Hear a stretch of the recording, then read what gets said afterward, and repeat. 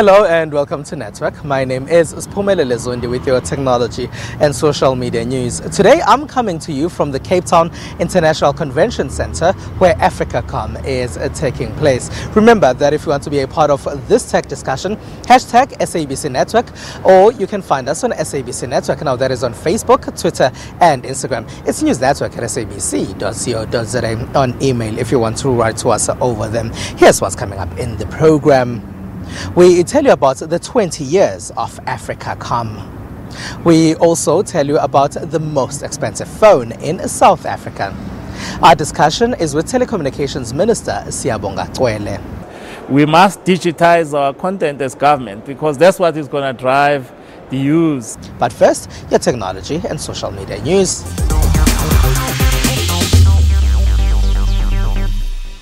AfricaCom, taking place here at the International Convention Center at Cape Town, is now in its 20th year. Let's find out what's going on here.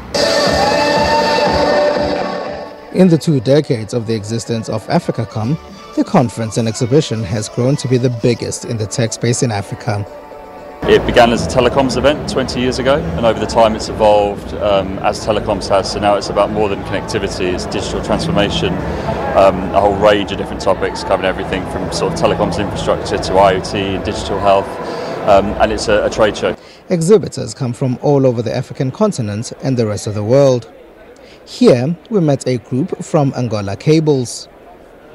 We have cables that are linking from London up to South Africa and touching 11 countries in Africa and three countries in Europe. And we are now building two new, two new cables, okay? One is crossing Angola to Brazil, and another one is crossing Brazil to the US. Tejas Networks came all the way from India. We design, manufacture, and uh, develop uh, solutions, which is optical transport products. And uh, we've got the technology, uh, all the technology from uh, OTN, PTN, ASON, GPON, DWDM. We have gone, gone into terabytes. We manufacture uh, telecom equipment, broadband equipment. There was a Geoscan from Russia. Apart from being a software company, they design and manufacture drones. So we produce the fixed wing drones uh, and quadcopter drones for mining. Many others came from various spaces in the technology sector. They're here to be seen, to do business, and get what they do into new markets. There are also many conversations which the South African government says are important to have. It's a platform where we create dialogue and discussion to say, well, here we are. Where are we going to? What are the challenges? And how can we then move together, private sector and government, to ensure that our people get the best service that they deserve? Organizers say they're happy with the quality of conversations that take place here. The core part of the show, I think, is, is dialogue between the, the, the, people driving Africa's digital transformation. So, yeah, I think it's, it's about learning, it's about sharing ideas and experiences. There, there's a huge amount of convergence in the industry. AfricaCom is also the biggest technology conference and exhibition about the African continent in the world. Some of the conversations that have been taking place here at AfricaCom have touched on technology in Africa, 5G versus LTE, and the digital divide. In Africa, not that many people have LTE networks, while the rest of the world is already discussing moving towards 5G. What you tend to find is most of the connectivity is actually focused on the cities. Um, so if you look at uh, you know places like Johannesburg, for instance, um, it's, it's, fairly well connected from the point of view of having uh, 3G or 4G uh, available across most of the city. You've even got public Wi-Fi spaces, and similarly so. You know if you travel to uh, Nairobi, Lagos. Um, all of those places tend to have relatively good mobile access. The trick is still to make that mobile access as affordable as possible and then to make sure that people have devices that can actually help them use that, that data and that connectivity. Um, you need connectivity to make people communicate and share ideas, share uh, information, and also connectivity has to be valuable in terms of providing value in the people's lives. Some say the focus needs to still be on improving networks in Africa. If this doesn't happen, some delegates at AfricaCom feel the digital divide will worsen. I think we're now hitting what I call the start of, of, of a dangerous period, a transitional paralysis. The rest of the world is now transitioning from 4G to 5G. You know, 4G networks are now mature. You're seeing gigabit capability. You're seeing ubiquitous networks.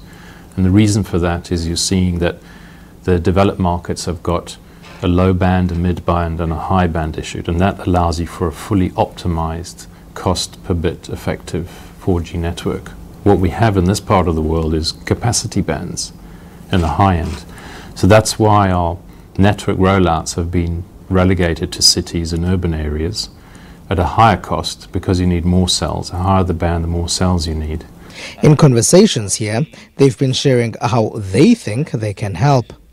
Trying to facilitate the supply, first of all. And when we talk about the supply, we can talk about uh, the spectrum, the site, uh, fibers, and also the network resources as well. Facilitating the supply in a very high efficiency is very important for connectivity for Africa. We have a product which enables small businesses to list themselves, that makes them available on a map, that enables people who want to search for a service or product to find them, connect with them, perhaps make a phone call. Um, and just having that presence is really the absolute first step for most small businesses. Despite the worry to sort out LTE networks, some say Africa should also be talking about how 5G can assist in solving problems in Africa in order to help local industries. This will obviously bring the excitement of the Internet of Things, seeing that we're very industrial driven, we're very commodity driven. How can we add value to our diamonds, to our copper, to our uranium, using now the power of the bandwidth and the low latency that 5G um, brings. I think we're going to see smart communities driven by safety, driven by engagement with, uh, with the community, so smart community engagement, managing the, the core uh, of the challenges we faced in Africa before we see you know, the, the top end of that. But some have raised the issue of spectrum that they say isn't available in South Africa in order to improve already existing networks. Government has said that this is something that they are working on. We also went to the launch of what is now the most expensive phone in South Africa. Does just under 27,000 rand sound okay? Huawei has finally decided to release the Mate 10 range in South Africa, but they're going for the high-range Mate 10 Pro and the even more expensive Porsche design Mate 10. They both have dual SIM card ports. It's also the world's first device to have a dual f1.6 aperture for extreme low light photography. We've got the world's first Mali G72 GPU to enhance your gaming experience, and also it's the world's first device to be certified safe um, in terms of fast charging technology by TÜV Rheinland. So this this device actually shows our capability in terms of innovation um, and consumer enhanced experience. They've removed the headphone jack. They say this is because they've made it water and dust resistant. It's the first time Huawei is attempting this feature, which exists on other smartphone brands. Some tech journalists say they're not happy with that. Something I don't like is the removal of the 3.5 millimeter jack.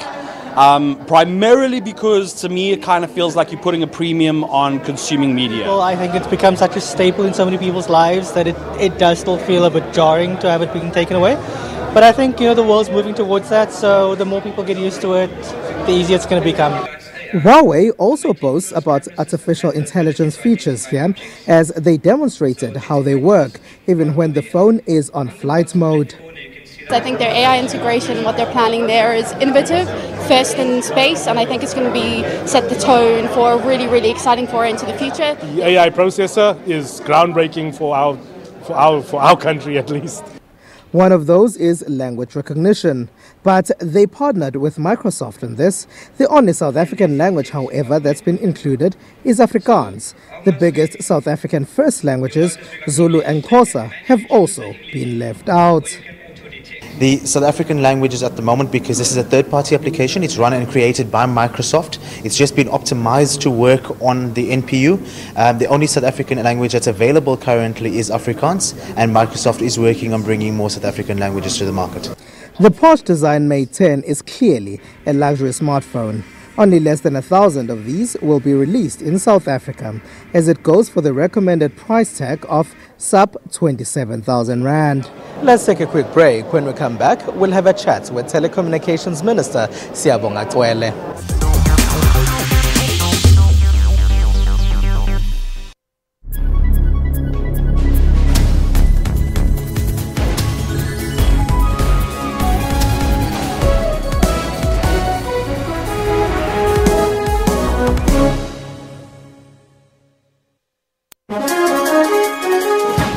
Today on Rights and Recourse, we will unpack the new traditional court mode. The idea of the bill is not to overregulate, uh, to basically set the principles. The most important aspect of this bill is that it understands that customary law by its nature is consensual that i have a right to affiliate i have a right therefore to opt in and i have a right to opt out the opt-out provision is is basically one that you've got to respect the court in, in the sense of if you've been summoned, you've got to tell the, the clerk of the court at least that you're not willing to attend. The challenge that I would like to throw to the Department of Justice, it has to ensure, come up with mechanisms of ensuring that people who exercise their right to opt out or to opt in are not in any way victimized.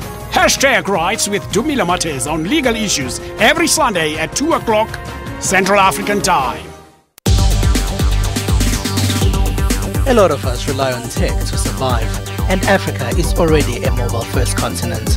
We build uh, mobile technology that connects motorcycle taxis to commuters and businesses in real time. My phone was like the most important thing. Africans are using technology to innovate. On network, we have African technology and social media news. Even robots have heard about us. Hello, watch Network on SABC. For African technology and social media news, join Ms. Phumelele Zondi on Network every Sunday at 9 p.m.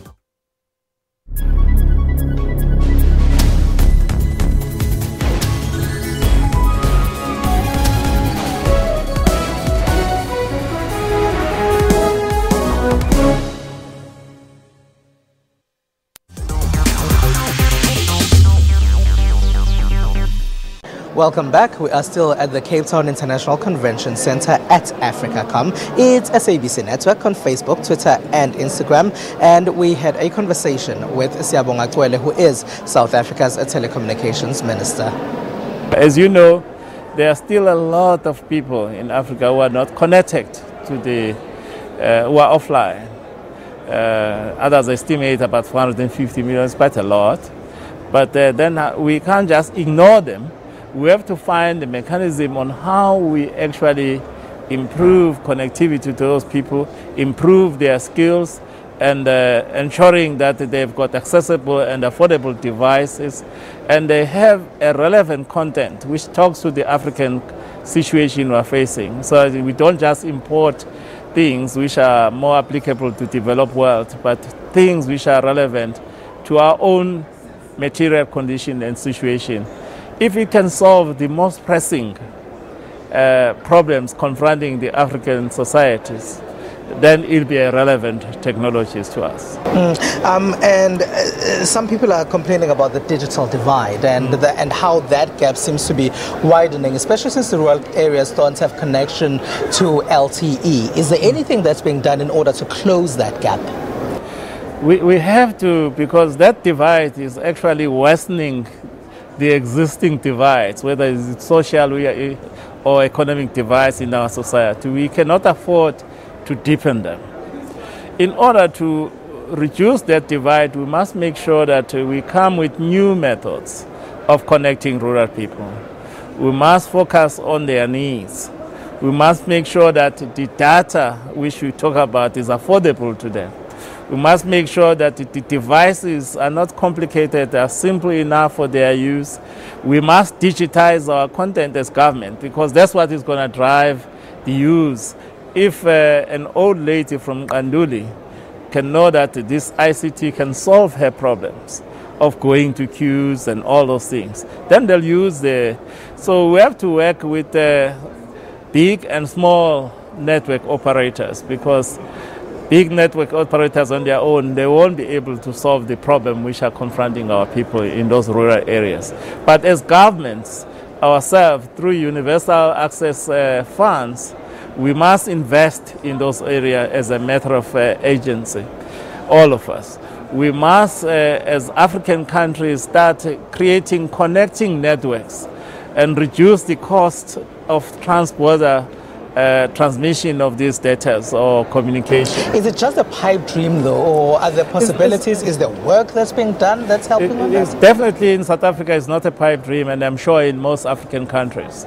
As you know, uh, for instance, this year, through the Universal Service and Access Fund, we started rolling out a broadband network using SMMEs in OR Tambo districts. Yes, it's the most difficult district to connect. Yes, there will be challenges as we connect, but at least people in some of those villages are now able to receive affordable internet.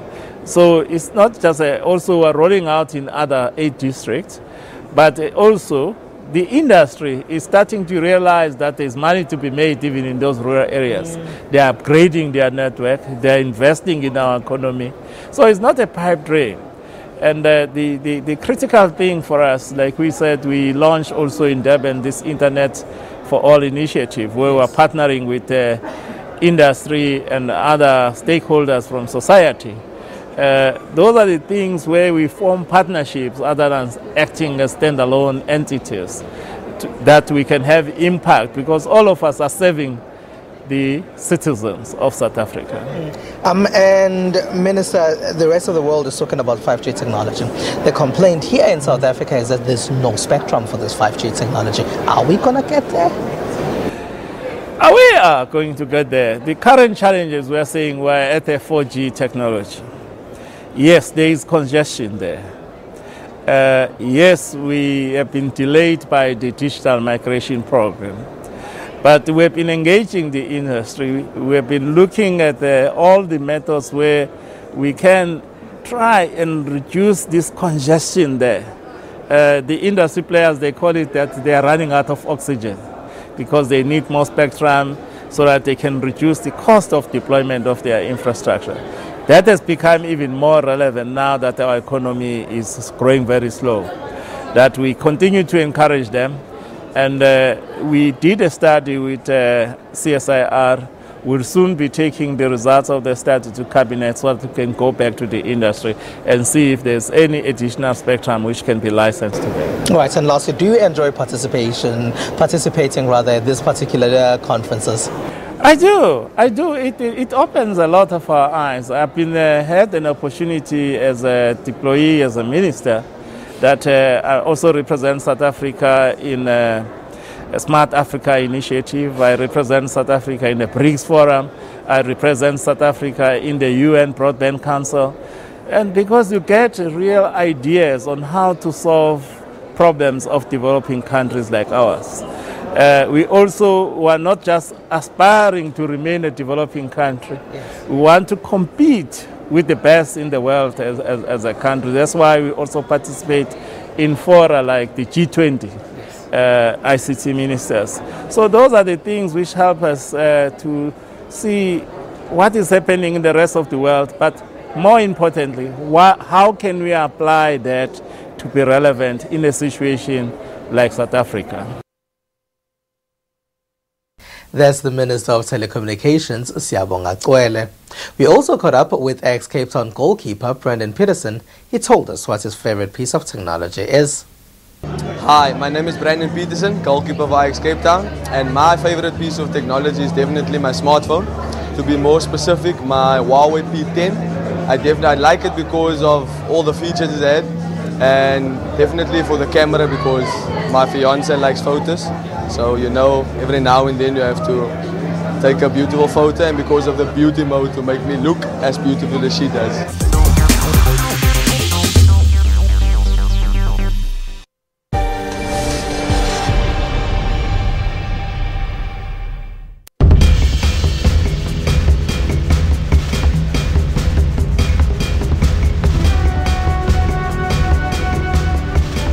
Meteorite hit the Earth 2 million years ago, creating an enormous impact of crater, about 10 kilometers in diameter near Vredefort in the Free State, 100 kilometers southwest of Johannesburg, now known as the Vredefort Dome, a South African World Heritage Site. The meteorite is said to have been larger than Table Mountain and caused a 1000 megaton blast of energy. The impact would have heated about 70 cubic kilometers of rock and have increased the Earth's oxygen levels to a degree that made the development of multicellular life possible. The world has about 130 crater structures of possible impact origin. The Vredefort Dome is the largest in the world, followed by Sudbury Crater in Canada and the Chicxulub Crater in Mexico.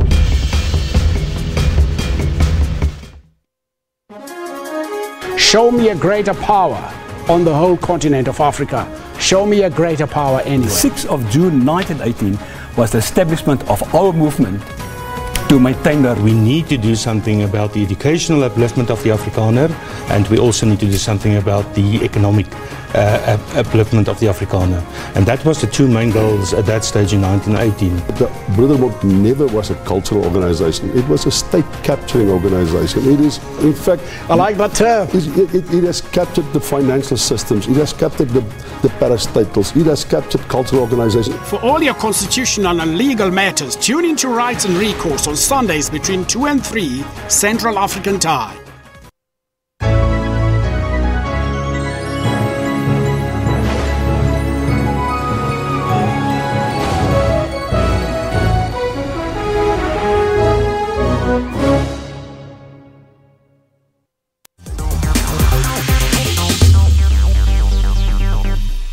Welcome back to the program. It is SABC Network on Facebook, Twitter, and Instagram.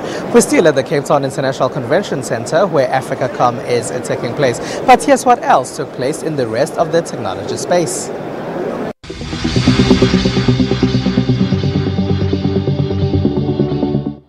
A self driving shuttle bus was hit by a truck just an hour after its debut in Las Vegas. The truck was backing up and um, at his angle, it's like a 45 degree angle while he's like trying to back into the alleyway. He just couldn't see. He just couldn't see the shuttle, and the shuttle didn't have the ability to move back either. Like the shuttle just stayed still. The Sin City police cited the driver of the delivery truck for failing to yield and slamming into the shuttle's front bumper. This is another argument for why autonomous technology is so important because it needs to be able to look at how humans make decisions. And in this case, the, this performed the way it was designed. Unfortunately, the truck driver uh, didn't yield to the shuttle. However, on the bright side, no injuries were reported. Now moving on to Europe. A Portuguese journalist, James Vlahos, has developed a unique way to cope with the loss of his father, John, who died of lung cancer in February. He has created DadBot, an artificial intelligence chatbot in his father's image. Vlahos recorded a series of audio interviews with his father during his final months on subjects such as his family history, education, and career. We were losing my dad, and I knew I couldn't stop that, uh, but I and my family, we just wanted to kind of preserve him in any way we could um, to have his story recorded and also to um, have little aspects of his personality preserved as well. Vlahos is in Lisbon at the Web Summit 2017 to present his invention to what has been billed as the best technology conference on the planet. The DadBot is a chatbot that you interact with on Facebook Messenger that allows me or anyone who uses it to send little messages and get messages back, um, to have a conversation, as it were, with my dad, and to ask him about different parts of his life and have him tell stories about that, and also to hear him sing some of his favorite songs, tell some of his favorite jokes, uh, just hear little stories from his life. What'll we do to the Stanfordites on that great day? We'll celebrate them all that night. After we play, we now declare our is on. Victory is near. Hit him again, boys. Hit him again, boys. Harder. Vlahos hopes to develop the app to allow others to have the same post death relationship with their deceased parents as he now enjoys. Now back to the US of A. Uber has struck a deal with NASA to develop software for managing flying taxi routes in the air along the lines of ride hailing services it has pioneered on the ground, the company said on Wednesday.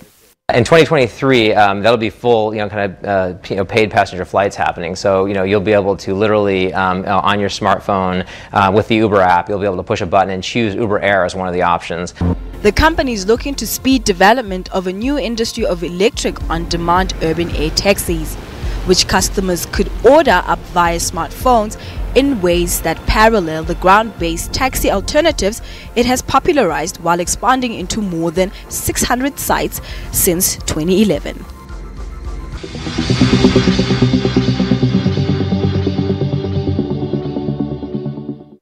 Manufacturers of the Energizer phone also exhibited here at Africacom. They say their phone doesn't crack when you drop it. I put this to the test. We are going now to launch our new mobile phones. It's a rugged phone, the Energizer uh, E520 LTE. It's the first time in South Africa. Oh, everyone knows the Energizer by the battery, so we are bringing now the last, uh, long testing, sorry, about the battery. So this is our power. So we add it in the phone now. Our product we bring IP68 with US Army drop test and everything. So we are now uh, add 4,000 battery inside, so it's really good. It is SABC Network on Facebook, Twitter, and Instagram. Use network at sabc.co.za on email. Find us or write to us over there. Now, from me, it's Phumelele Zondi and the rest of the team right here in Cape Town. Have a good one. Bye bye.